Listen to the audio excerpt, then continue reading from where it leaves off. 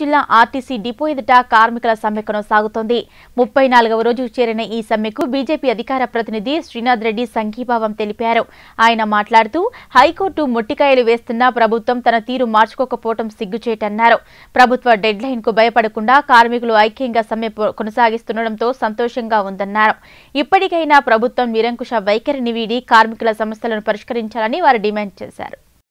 మరి ఈనాటి కార్యక్రమంలో భాగస్వామ్యమైనటువంటి regional convener JAC convener PS Reddy గారికి మరియు సంగారెడ్డి డివిజనల్ వర్కింగ్ ప్రెసిడెంట్ భూషణ గారికి మరియు డిపో అధ్యక్షులు ముగులా గారికి మరి పిఎన్ రెడ్డి అందరికీ కూడా ఉద్యోగం తెలియజేస్తూ మరి ఈరోజు సీఎం గారి మొండి వైఖరికి నిరసనగా మరి ఎంతో కఠోరమైనటువంటి సమ్మెలో ఉంటున్నాం.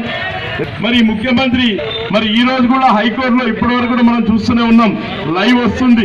ఎంత ఘోరాతి ఘోరంగా ఉండే నలుగురు ఐఏఎస్ మరి పద్ధతులు అంటే వారు ఐఏఎస్ చేసింది మరి సీఎం మరి కొమ్ము కాస్తందుక మోచేది నీళ్ళు తాగడందుక ముప్పై నాలుగు రోజుల నుంచి రాష్ట్రం అంతా కూడా ఒక్కటై పోరాడుతూ ఉంటే యాభై వేల మంది కార్మికుల యొక్క కుటుంబాల యొక్క జీవితం దుర్భరంగా తయారై పండగ లేదు పబ్బం లేదు కుటుంబంలో సంతోషం లేదు.